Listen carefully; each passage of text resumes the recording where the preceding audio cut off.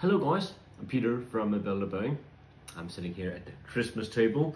Uh, it's Christmas 2024 right now when I'm recording this.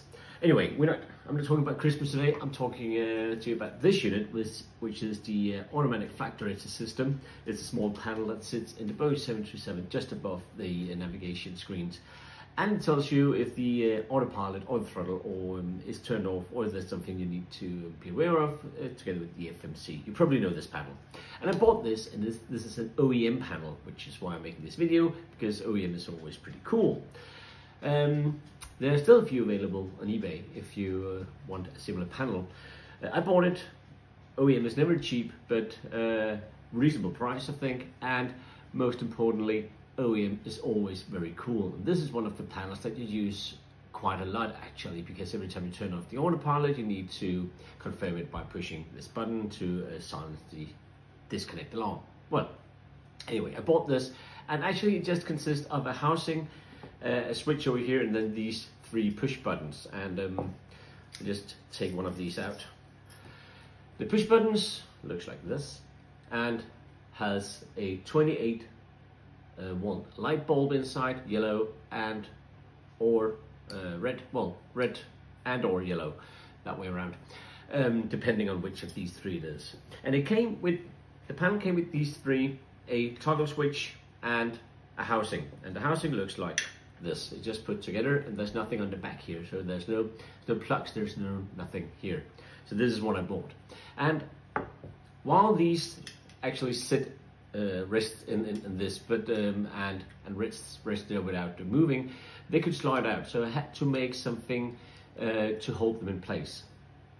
And so much of this OEM conversion for me is always uh, 3D printing things and prototyping. And I must say, I actually like it. Doing some measurements, um, prototyping the prints, see if they fit, uh, at uh, change a bit, uh, reprint, and so on, so forth until at the end you have the perfect perfect piece that will fit your, your panel, like this one, which fits right in here.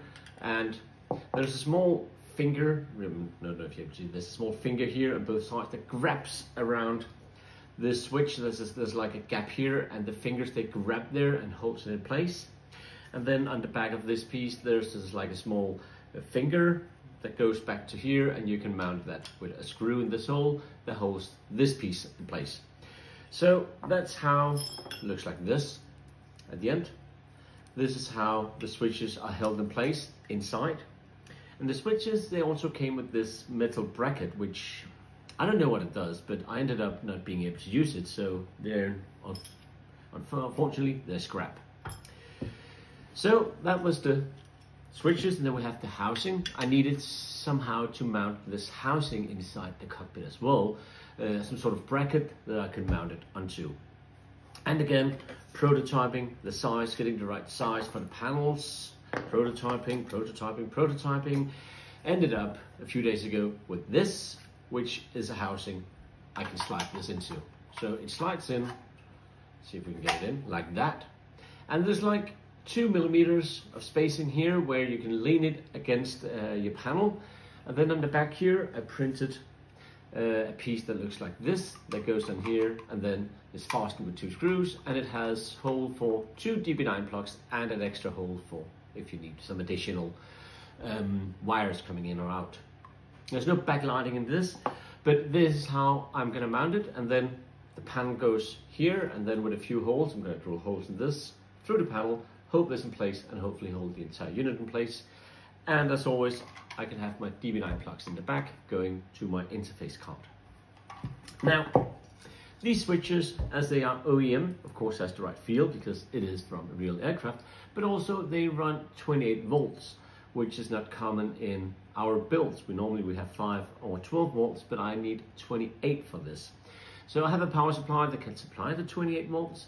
Next problem is interfacing them because a normal output card would deliver 2, 3, 5 volts for um, LEDs, but I need those 28 volts. So I'm going to use this instead, which is a uh, extension card for Pokeys. I've talked a lot about Pokeys in my videos. Pokeys 56E and uh, 57E cards, they're very good cards for ProSim. They are Ethernet based And you can plug this into the Pokeys card and it extends the number of outputs with 16 outputs that you have right here. Normally Pokeys card are not very good with, with outputs because you need uh, a lot of power and the card cannot deliver that much power. But using this, you can deliver as much power more or less as you want. I think it's half an amp you can uh, have going through this card. And the thing is, you can do it with 28 volts as well. It's independent of the voltage on the board. So 28 volts and you have common uh, cathode here. And uh, I'm gonna um, use this. Hopefully that will be a bliss to you to use. Normally it is with Proton and Pokeys cards. They work absolutely good together. So let's see the panel inside the cockpit.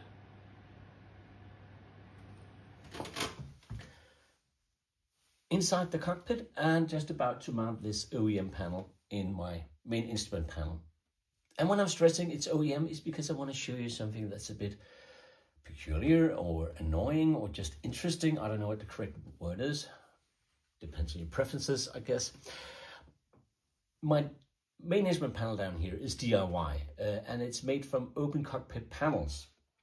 So this is open cockpits and I've taken most of it out, but I still have the faceplate left here and just want to show you something. Do you spot the difference in size here? It's like the open cockpit version is, is half an inch one and a half centimeters wider than what they're trying to replicate. I just don't understand it. If you have the original measurements of, of, of the original panel, why make it so much wider? Why not fit it to the original size? It just blows my mind. I don't understand why. It's the same up here. The, I know it's the same with the six pack up here and the um, master caution uh, fire warning uh, switches. They're too big as well. Why not make it the correct size here? I just, I just don't understand it. And the problem is, I'm, I'm going to show you the problem. The problem is, I've made this cutout, a 3D printed this cutout, which fits the OEM panel.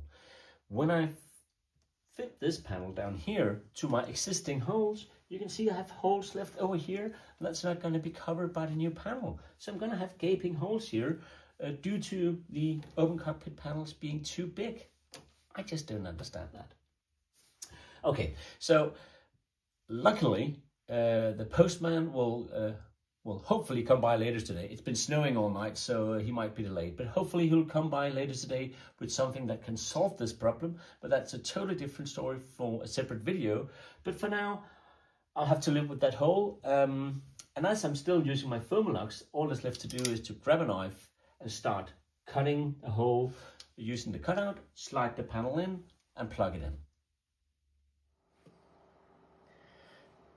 It's a few hours later now and um, when I made the hole for, for the panel here, some of the paint cracked a bit so I had to repaint it and had to wait a few hours before I could mount the panel in the main instrument panel here. But now it's there, and as you can see when I move, use the test button here, red, red, amber, and when I push it up, amber, amber, amber, they're all working. Absolutely fantastic. It's running 28 volts, as it is the original light bulbs and uh, OEM. And uh, I've interfaced it using Pokeys and something called a Po Bus 16 card, but I'll do a separate video on that because that card might be of interest to people that's doing something with those odd uh, voltages that uh, we don't have on our normal interface card. So a separate video on that. The paint job I did here isn't perfect and uh, I reckon it doesn't have to be. Also I mentioned the holes, you can still see some of the holes here, well that will have to do, but hopefully only for about a month or so because earlier today while uh, the paint was drying, uh, this arrived. And it is also OEM. It's the panel that goes up here. And uh, I'm gonna spend the next month or so figuring out the figuring out the wiring, wiring it up, getting it ready to be mounted in the cockpit. There's a bit with the um, annunciators here that just need to figure out, and um, I need to install a uh, rotary switch there and all different sorts of things. But hopefully, the poor paint job and the whole seal will be covered with an OEM panel within the next month or so. So I'm very excited. I'm very happy about this. And I am Peter from Build a Boeing, and you guys take care. Bye bye.